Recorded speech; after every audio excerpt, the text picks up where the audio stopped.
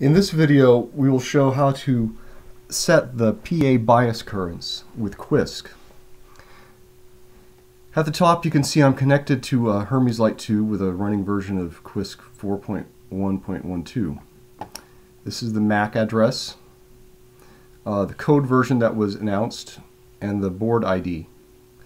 ID 6 is for Hermes Lite, and the IP address it's using on my network.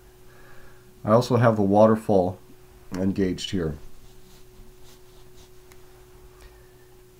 Uh, we need to go to the config screen and um, go to the running HL2 radio and um, we're going to enable the power amplifier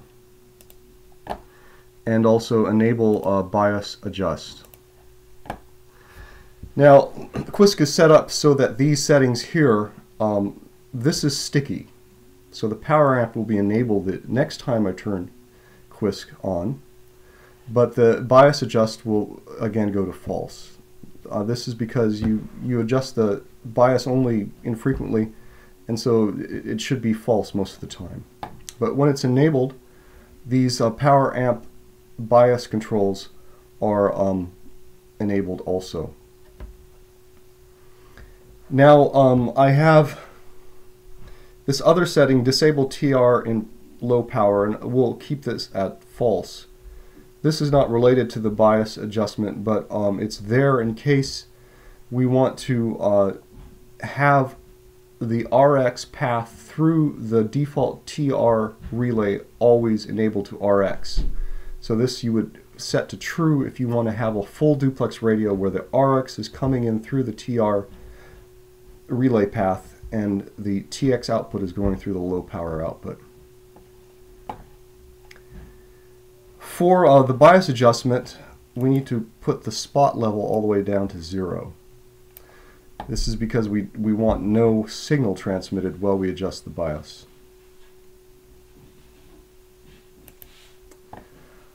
Um, I'm also going to do something here just to make sure that the, the setting has been sent. I'm going to up this to 1 and lower it to 0.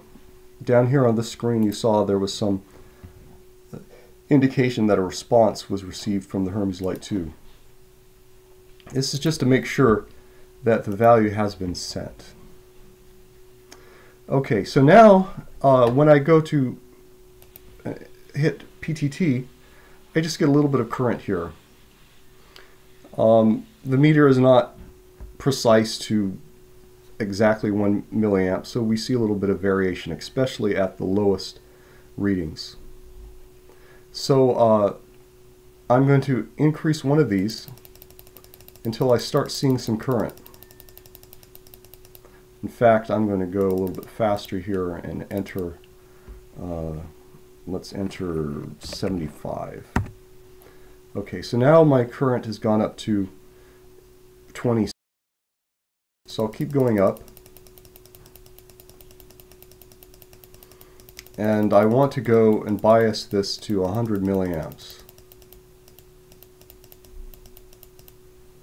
Okay, so now I'm, I'm at around 100 milliamps. Um, you notice my temperature has been going up a bit. And I'm, I'm going to kind of leave it there. I want to see if this is kind of a stable setting for that. 100 milliamps seems, seems good there. So 133. So I remember that setting, 133 for this. And then I disengage transmit and I'm going to put this down to zero. And I'm going to go here and um, we'll start here maybe at 80 and we'll re-engage. So I have a low current again. And here I'm going to increase until um, I get to around 100 also. Okay, so 116 on this side, I'm getting similar currents to what I saw on the other side. So we'll leave this at 116. I'll set this back to 133. And now we'll engage the transmit again. And um, we're just below 200 milliamps, around 200 milliamps. So this, this looks good. And uh, now I'll go ahead and I'll write this. So this should write it to the Hermes Lite 2 um, EEPROM so that uh, next time you power on the, the Hermes Lite 2, um, you will see the same currents.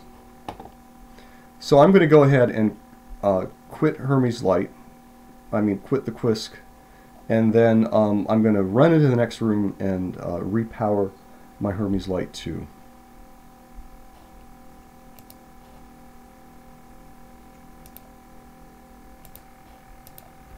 Okay, I'm back after repowering the Hermes Lite 2. I'm going to restart Quisk. And the reason we're doing this is since this is a first time you might be programming the bias, we want to make sure that the um, bias currents have stuck. So I'm, I'm basically checking that the settings I wrote to the EEPROM uh, are going to be engaged the next time I run. And so I had to do a full power cycle of the Hermes Lite 2. So um, here we see that the spot value uh, should still be zero. I'm going to go into full duplex mode. Um, and uh, when I transmit, yeah, I, I, still see around 200 milliamps of current there. And if I go into the config um, for the radio, uh, we see that the power amp is still true, but the enable bias adjust is uh, false. So, you know, it doesn't read the bias values that were set, so I, I see a zero here. But that test confirmed that the EEPROM was written on the HL2. So I can go back here, and now that we have a full uh, power amplifier engaged, we can do some transmit with that. Um, here I'm in CW, and uh, I'll increase the spot mode now to 100% and um, when I transmit now um, I should see a large signal on um, full duplex S some of these are artifacts not necessarily important to to pay attention to and you can see my temperature rising and I can see my uh, current that is being drawn by the power amplifier at full power in this mode. Uh, I don't yet have these two parameters hooked up, so you can ignore them for now. Eventually they'll be connected. But uh, you know the temperature should shouldn't rise above uh, 40 some degrees Celsius. Eventually, I think there'll be a, a limit set in the firmware uh, where it will reduce power maybe starting at 50 degrees Celsius just to protect your PA. So that's it. That's how you adjust the uh, PA bias current. And uh, once you do that, you're ready to transmit. One note, um, I did this in a remote room. I suggest that when you do it the first time, you do it right by your Hermes Lite 2 just so that you can kind of feel if anything is getting too hot or anything is smoking. Uh, since it might be the first time you're engaging the, the PA, you want to just be there to be sure that something's not going wrong. If you have a current limiting, Uh, current limited power supply, you should probably use that also.